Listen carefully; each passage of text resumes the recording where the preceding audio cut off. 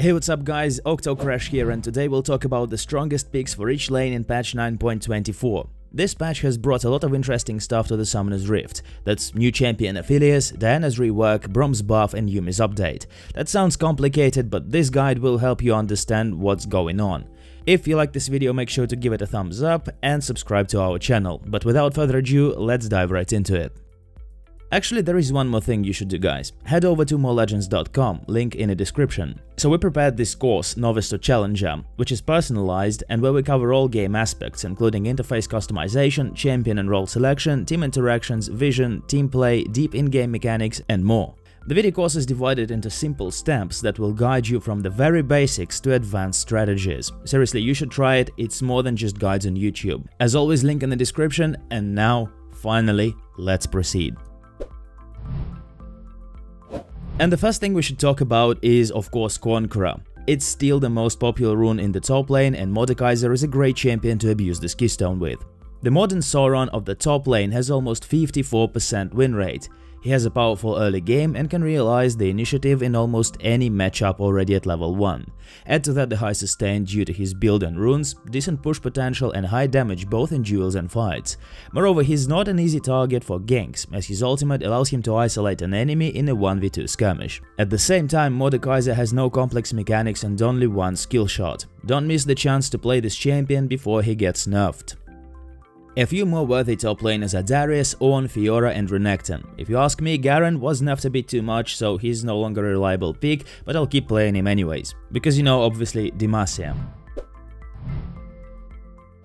With that out of the way, let's move on. Number 1 pick in the jungle is an agile guy called Ekko. He has fast jungle clear, low cooldowns, high AoE damage, hard CC, mobility and a gap closer.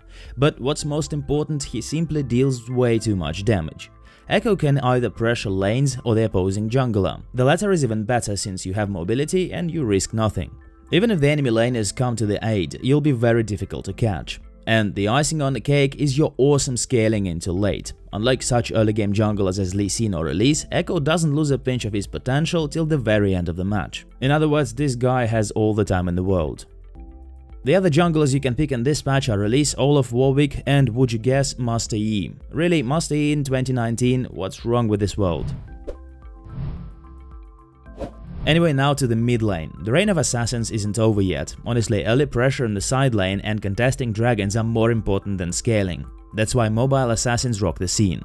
And surprise surprise, number one on our list is Nocturne. Despite the fact that this guy is actually a jungler, he has a great laning phase in mid. He has a spell shield and heal from passive, which grant him sustain and survivability. Nocturne can quickly push the lane and make a couple of unexpected ganks. Enemy wards? Haven't heard. Rush Sanguine Blade and only then build Draktharr. The blade grants additional lifesteal and attack speed, so you can even farm the jungle while roaming. As for runes, you can choose between Electrocute and Lethal Tempo, both are quite good. If the enemy team has many squishes, take Electrocute, if there are more tanks and bruisers, pick Lethal Tempo. In the S tier, there are also such champions as Cassiopeia, Kassadin, Yasuo and Fizz. And we're moving on to the bot lane where Critical Strike runs the show. And who can abuse Critical Strike better than Miss Fortune? Hold on, just try it out, I'm telling you. Seriously, after Master Yi jungle and Nocturne mid, Miss Fortune with crit chance doesn't sound that odd. This lady has insane lane pressure, she's the new Draven. 2 to 3 Doran's Blades, Overheal and Legend Bloodline grant him a phenomenal sustain in lane. To secure a victory, play with a disengaged support. There'll be Braum, Lulu, Janna, Bard or Zyra. And a few marksmen to enlarge your champion pool in this patch. Senna, she's still good despite the nerf. Caitlyn, Ashe and Jinx. These ADCs have long attack range and can easily get the lane priority. Add to that high push and poke potential and good scaling into lane. Last but not least, supports. Despite all the patch changes, Senna's nerf, Braum's buff and Yuumi's rework, Janna is still the queen of supports. The reason is that she combines high poke damage, W plus arcane comet, disengage potential, that's her Q and R, and a shield, which also increases her carry's damage.